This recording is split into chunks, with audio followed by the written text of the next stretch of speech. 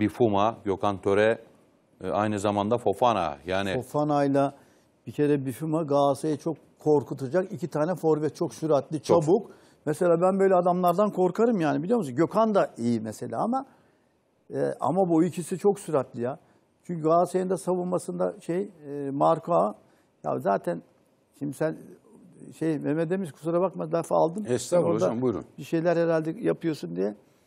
Şimdi Marka ile şey e, bana göre hiç uyum yok. Aradan gene onlara da pas atlar. Gene karşı karşıya kaç tane pozisyon kaldı. Ya ben inanamıyorum.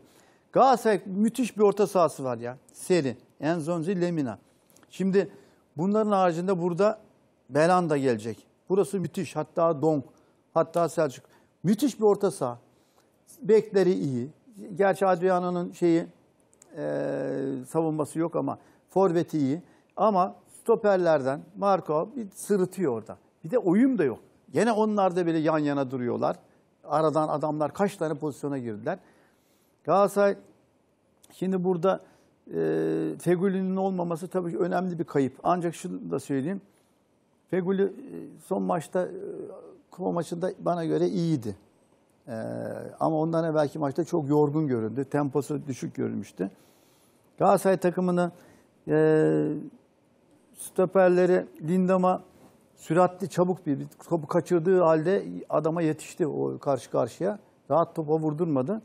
Ama ikisi gene şey değil anlaşamıyorlar yani. Galatasaray'ın şeyin mesela Trabzon'un da öyle, Beşiktaş'ın da öyle, Fenerbahçe'nin de öyle. Bunu stoperler öbür takımdaki futbolcuların bir tık altındalar ya. Yani o kadar iyi takım yaptı bulamadık stoper. Hadi Lindam'a neyse. O e, hata yapmadığı takdirde hani biraz havaya girip de şımarmadığı takdirde, oyun disiplinine uyduğu takdirde iyi. Ama Galatasaray'ın öbür stoperi bir de yedeği de yok.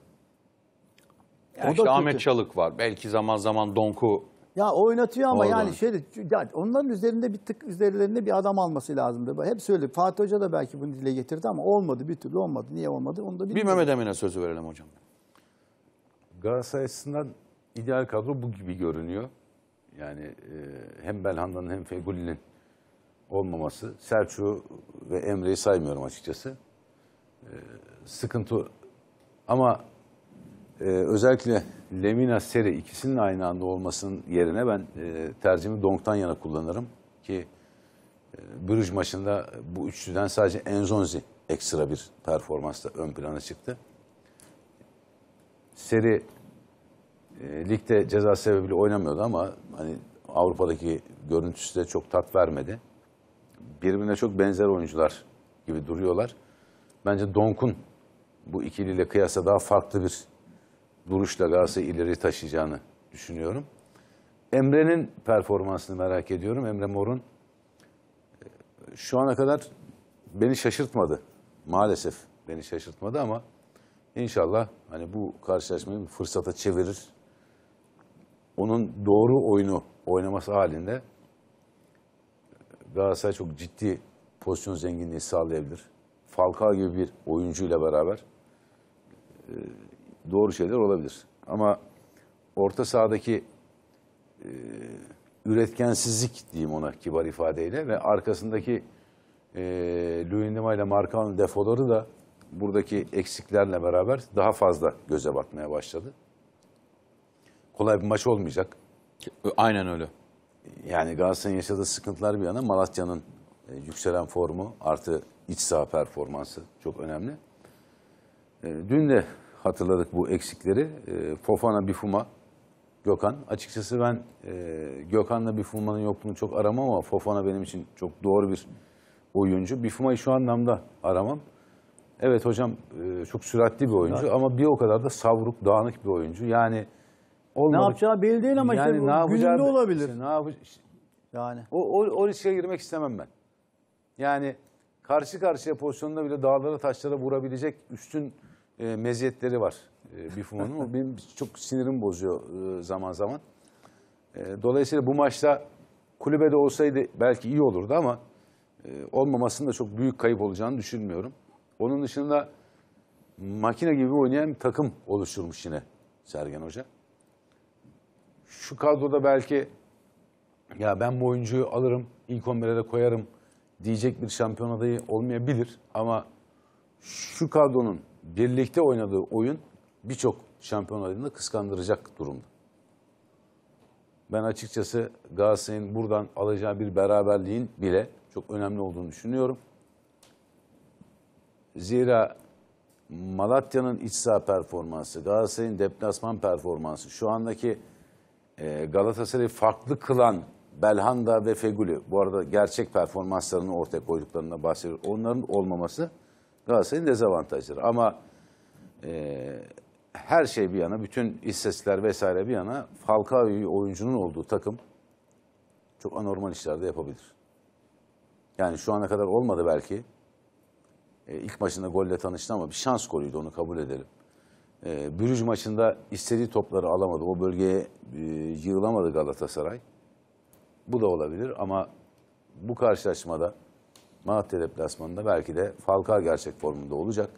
Falcao'ya doğru toplar gidecek. O zaman e, Malatya için çok kabus olanlar başlayabilir. Hocam Şimdi Forvet'e baktık. Şimdi Bifuma şimdi Mehmet Emin söyledi ama serseri mayın deriz biz biliyor musun? Serseri mayın ne oldu? Bir gelir güm diye patlı şey yapar. Evet, Yani- hiç olmadık yerden saçma sapan Yani goller atabiliyor. Şimdi ben biliyoruz. ondan korkarım. Öyle veya böyle sonradan da girse bana göre ben o girdiği zaman veya oynadığı zaman işte ne yapacağı belli değil adamın. Gider kaçırır kaçır o günde bir bakarsın üç tane tak tak tak gol atar. Yani Evet. Serseri mayın diyeyim. Öyle bir teşbihte hata olmaz. Ama şey e, Fofana da çok süratli, adam eksilten, e, çalım atan yani gol pozisyonuna giren, asist yapan bir adam. Gökhan Tören'in zaten kalitesini biliyoruz, klasını iyi oynamaya başlamıştı. Ben bence bu üç tane forvetin eksikliği Sergen Hoca'yı düşünür. Tabii bu arada Yahoviç çok önemli bir santrafor. Ben ben çok beğeniyorum onu. Yani çok iyi bir transfer diye düşünüyorum. Bir de burada şimdi Gülerme, Gülerme ile ikisi bana göre çok etkili olabilir. İki tane adamı kaldı. Yani bu şeyden e, üç orta saha bir forvet diyeyim öyle diyeyim. Ya dört kişiden iki tane etkili adam var. Öbür arkadaşlar daha yeni oynayacak herhalde. Onun için de bence yani Sergen biraz düşünceli olabilir bu maçla ilgili. Savunmasını iyi kurabilir ama yani hücumda çok etkili olacağını düşünmüyorum. Galatasaray'da şeyin e, Fegül'ün ve Belanda'nın olmaması bana göre çok büyük eksik. Ama Falcao, Babel zaten onlar belli kaliteleri, klasları. Ba- Babel de iyi oynuyor. Falcao da gün geçtikçe daha iyi olacak. Daha ilk maçına rağmen daha iyiydi. Emre'den ben çok şey bekliyorum. Belli ama bir tutturduğu zaman da eğer o şeyi yakalarsa eski formunu bana göre tutulmayacak bir adam, müthiş bir adam olacak. Galatasaray'ın orta sahasını ben şimdi Belanda ne kadar olmasa da Seri Enzonzi Lamine kalite. Üç tane adam. Yani birbirleri aynı da olsa futbolcu bunlar. Yani birisi istediğin, hepsini istediğim yerde. Ben Enzonzi hariç ile Seri'yi 10 numarada oynatırsın, 8 numarada oynatırsın, 6 numarada oynarsın. Hani Enzonzi'yi belki 10 numara oynatamazsın ama yani fizik itibariyle, kali şeyiyle, e, o oyun karakteriyle ama öbürleri oynar. Bana göre bu üçlü müthiş. Ee, Adriano sağ tarafta, ne Adriano diyorum hep sağ beke ya. Mariano. Mariano. Mariano. E, hücum gücü çok fazla. E, ama savunması oradan işte bir mesela Fafana falan orada olsaydı e, onu da geçebilirdi. Yani savunması çok zayıf ama hücum gücü çok iyi bir bek. Şey, sol bek Nagatama da hücuma çıkıyor. İyi. O iki tarafı da fena değil. Ben burada Lines'e üzülüyorum. Yani orada ama belki de e, Mariano'nun yerine şeyi de onu oynatabilir. E, Ne o bizim Fenerbahçe'den aldığı çocuk. Girdi. Şener. Şener'i. Şener de güçlü, kuvvetli. Belki de onu bu, bu şeyde oynatabilir, bu maçta oynatabilir. Ama işte savunmasında tekrar söylüyorum. Ya geçen sene o kadar oynadılar. Marco ile bu maçta keşke görüntüler yine olsa. Gene bunlar böyle duruyor. Ya bu bir hastalık herhalde. Aradan devamlı adamlar pozisyona giriyor. Arkada kaçırıyorlar. Lindama süratli bir kuvvet, o şeyin fiziğine rağmen düz toplarda çok süratli. Gitti adamı yakaladı, rahat vurdurmadı yoksa gol olurdu. Marka çok hayır, ağır. Birbirlerinin kademelerine girmiyorlar. Çok hayret edici bir şey bu stoperler ya. Beşiktaş'ta da öyle ya. Nasıl bir anlayış, aklım sırrım ermiyor ya. Fenerbahçe'de de bu, Beşiktaş'ta da bu, Galatasaray'da da bu. Üç tane bu stoperler birbirlerinin kademesine girmemesini ben aklım sırrım ermiyor. Galatasaray'da bana göre işte yine söylüyorum. Stoperler bir tanesi bir, takımın bir tık altında. Ee, güzel bir maç olur ama e, Malatya Spor'un bu üç tane adamın olmaması bana göre Malatya Spor için çok büyük bir dezavantaj. Öyle görüyorum. Sergen Hoca kara kara düşünüyordur. Evet. Benim düşüncem şöyle. Ben Malatya için Malatya'nın eksikleriyle Galatasaray'ın eksiklerini yan yana yazdığımda Galatasaray'ın daha önemli eksikleri olduğuna inanıyorum. Bir de e, muhtemel 11'de görmüyoruz ama e, Adem Büyük var. Yani acaba diyorum Fatih Hoca bu karşılaşmada Adem'i 10 numara pozisyonda gibi kullanır mı? Çünkü e, yetenek olarak baktığım zaman hücum organizasyonlarını sağlayabilecek, yönlendirebilecek yetenekleri olan bir isim. Emre'nin yerine oynayabilir ya. Burada mesela Emre muhtemelen 11'de yazmışlar Yok, ama e, Emre- ben olsam oynatırım. Emre'nin- Hem Malatya'ya karşı kenarda da oynuyor Adem. Evet, Emre Mor yazıyor. Adem Adem kenarda oynuyor. Şöyle düşündüm ben. Ee, Enzonzi sabit olmak şartıyla Enzonzi'nin yanında Lemina, Seri ya da Donk olabilir. Onların önünde, o Önünde. ikilinin önünde işte Babel, Emre, ortada Adem, en önde Falka şeklinde. Orada daha sanki topu tutup daha efektif kullanabilecek bir yapı gibi geliyor bana. Mutlaka hoca en Kenarda da oynadı. Emre kesin mi bu şey 11? Ya muhtemel hocam. o. Muhtemel değil. bunlar. Yani bence Aykut şeyi, şeyi oynatabilir. Adem'i orada oynatabilir. Sağda Emre'nin yerine. Ben öyle düşünüyorum yani. Ya Em- hem Malatya'ya karşı hem orada oynuyor. Ya hem daha Emre'nin Emre'nin şöyle bir dezavantajı var. Emre çok yetenekli futbolcu ama işte yeteneklerini kullanır mı, kullanmaz mı? O günkü ruh hali nereye doğru döner? Canı ne yapmak ister? Bilemiyorum ben yani. iyi, iyi olur diye düşünüyorum ya. O çocuk çok yetenekli bir çocuk. Yani Ya yazık iyi ol bak, yani. iyi olur diye ben iyi olsun diye dua ediyorum. Evet. O başka bir şey. Ben de. İnşallah ben yanılırım. Çünkü bu kadar yeteneği olan bir sporcunun çok doğru yerlerde olmasını hayal ediyoruz. Hem Galatasaray için hem Türk futbolu için. İnşallah olur. İnşallah ben mahcup olurum.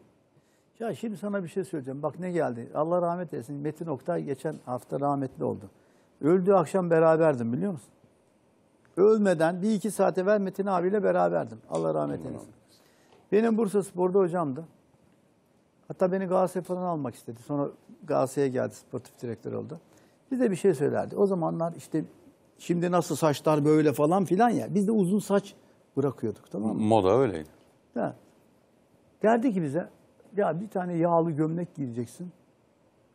Kirli. Bir tane yırtık pantolon o zaman moda değil. İşine bakacaksın. Şimdi biz antrenman bitiyor ya. Fönler, mönler falan şeyler falan böyle bakardı bize. Yani kendinizi futbola verin derdi tamam mı? Şimdi bakıyorum ben- Bursa'dayken. Bursa'dayken. Bakıyorum şimdi bir antrenör tabii futbolcunun şeyine bakamazsın tamam mı? Hani karışamazsın yaşantısına falan E, ama hani sorumluluk veriyorsun ya. Şimdi bir bakıyorsun Emre'ye saçlar işte ne sarı, mor bilmem ne. Bir ara güven yapmıştı öyle. Hemen düzelttiler onu. Hocam bak Şeye giden Çakne'ye gitti orada gördün mü Galatasaray'a geldiği zaman neydi nasıldı saçları? Tabii şimdi şu var. Sen konsantrasyonunu her işte öyle. Bak tavla oyna. Konuş yenilirsin biliyor musun? İstediğin zarı at. Yani konsantrasyonun orada olacak. Top futbolda olacak. Saçınla, başınla, şurada. Şimdi rahmetliyi bak şeyle alıyorum. Eylesin. saygıyla anlıyorum. Ya acaba bu Emre'de yani şeye doğru tabii kulağımıza gelen şeyler de var. Öyle mi? Yani kendini futbola verse bence tamam mı? O gücü de zaten Fatih Hoca'dan şimdi antrenmanlarda görüyor adamı güçlü mü güçsüz mü. Şimdi bireysel performans antrenörleri var. Demin sakatlıktan bahsederken geçen sene Galatasaray'da ilk yarı kaç tane sakat vardı hatırlıyor musunuz? İnanılmaz. Bir tane İtalya'dan şeyi getirdi kondisyoner. Sakatlıklar geçti. Dikkat edin yani. hocam Babel'in saçları ne renk biliyor musun? Babel ya bir tane iki tane olur. Yani şimdi Bak- Messi de yapabilir. Bak bir şey şey de söyleyeyim. bak ha o yaşta ya benim oğlan da öyle diyor. İşte bir şu ya kardeşim sen oraya öyle ol. Bak Dünya Kupası'nda sana bir şey söyleyeceğim. Kaç yüz tane futbolcu vardı? 16 takım. 20'şerden 160, 320. 5 tanesinde uzun saç var biliyor musun? 10 tanesinde. 20 tanesinde oldu. 300 tanesi var ya senin benim gibi. Aykut gibi. Şunu anlatmak istiyorum bir yere gelirsin, olursun. Ondan sonra kırmızı yap, yeşil yap, sarı falan. İşte şunu söylemek Ama daha istiyorum abi. gelmeden evvel bu tarafa yönelirsen Şunu bana göre yanlış. Babel, Babel saçını sarı yaptırıyor, mor yaptırıyor. Yarın öbür gün yeşil yaptırabilir. Kimsenin umurunda değil. Çünkü şunu biliyoruz biz. Babel e, Galatasaray'ında, Kasımpaşa'sında, Liverpool'unda, Hollanda milli. Her yerde Babel tamam mı? Adam çıkıyor, Ya kültürü öyle işte. onun. çıkıyor, oynuyor kardeşim. Emre, kardeşim çık sahaya, yeteneklerini yansıt. Her gün saçını başka renge boyat. Hatta İşte- ne bileyim, Ya- saçının her telini başka renge. Hatırlamıyor Daha ne musun? kardeşim? Ozan saçını düzeltti diye gol yedik ya Kıyamet turnuvada. Rahmetli Metin Oktay'ın söylemek istediği ne biliyor musun? Yani işi saç baş falan şu falan değil. Ya konsantrasyonunuz futbolda olsun anlamında söylüyorum. Anlıyorum ben onu ama şu Profesyonel anda bizim yaşantı- Emre'yi bu kadar eleştirmemiz, Emre'nin efendim saçı, başı, kıyafeti vesaire bu kadar Yok, olay acaba olmasın. diyoruz ki en profesyonel büyüklerini yaşantısı ne? futboldan uzak olması. E işte onu söylüyor. Aynı şeyi söylüyorum. Yoksa adam Futbol, gitsin. futbolun oyunundan sonra ne yapıyorsan yap kardeşim. Bize ne yani? Bizi ilgilendirmiyor. Biz sonuçta burada futbolu konuşuyoruz. Ama inşallah- sen futbolunu oynamayıp da saçma sapan haberlerle gündeme geliyorsan e o zaman her yerden darbe geliyor. Kimse kusura bakmasın yani. Ya yazı günah ya. O yeteneğin yani yazık. Ya eder. Emre geldiğinde, Emre transferi açıklandığında biz burada yayınladık. E, Çok güzel dedim Galatasaray dedim, yedek kulübesinde dedim, oturur dedim. Yok ben inşallah ya çok iyi olacağını düşünüyorum yani. Oynasın. Hocam bak normal şartlarda bu yetenekteki futbolcunun tahtaya ilk yazan isim olması lazım. Ya bırak Doğru. onu Almanya'da kalması nerede? Bak, Dortmund'a mı gitmişti bu? Dortmund'daydı. Orada şimdi yıldız olması lazım. Ama orada. Şimdi adamın Buralara istatistiklerine bakıyorsun. Onyekuru'nun iki sezonda oynadığı maçı kariyeri boyunca oynamamış adam. Hatta neredeyse bir sezonda oynadığı maç. Onyekuru 22 yaşındaydı. Galatasaray'a neler yaptı, neler verdi. Şampiyonlukta Feguli ile beraber başı çeken oyuncuydu. E bu çok yetenekli. Bana ne kardeşim? Temennimiz iyi olur inşallah. İnşallah. Ama şeyler de Malatyalılar diyecek ki ya bize karşı mı iyi olsun diyorsun. Hayır. Hayır canım. Malatya'ya da alakası başarılar var ya? dilerim. Bu arada- Ben beğeniyorum da. Kayısı diyarı, Malatya'm. Hakikaten özledim Malatya'yı da. Yani Yani stüdyodan yalnız- çıkamıyoruz, gidemiyoruz. Elazığ, Malatya. Ya bir şey söyleyeyim mi? Arkadaşlarımız çok güzel bir izlenim bandı yapmış hocam. Onu sona sakladım. Öyle mi? Malatya mı? Ben Fahri Malatyalıyım bak. Buradan herkese tekrar hatırlayayım. Ben Fahri Malatyalıyım. Ben aslen Trabzonluyum ama Fahri Malatyalıyım. Ya Malatya. Türkiye'nin bütün illeri bir yana, Malatya benim için bambaşka bir yana. Ya ben de çok seviyorum Malatya'yı ya. Bir şey söyleyeyim? Oradan giderken ne ısmarlıyorum biliyor musun? Hemen hocalara söylüyordum. İncik haşlama var ya kuzu. Hemen onu söylettiriyordum biliyor musun? Müthiş etleri var ya. Zaten Hocam bak olayı şu boyutta, Muazzam, bak şu boyutta, muazzam. bak şu boyutta anlatayım. Bir gün, İnsanları da çok iyi hocam. Evet. bir gün yolda yürüyorum, trafik var. Bir tane araba öyle bir delikanlı kullanıyor. Baktım 44 plaka. E dedim kardeş dedim Malatyalı mısın? Yok abi dedi plaka 44 dedi. O da olur dedim ya. o, o da kabul yani tamam mı? Malatya Malatya'nın yeri ayrı. Çok Malatya- Elazığ da çok ya, güzel. ha? Elazığ da çok güzel. Birbirine Evet, Elazığ öyle bir değişmiş ki. Harput'ta. Geçenler Harput'a çıktık. Çıktınız mı hocam? Geçen sene. Nasıl? Müthiş oldu. Ya Elazığ Hocam sen iyi böyle yayınlara falan yetişiyorsun.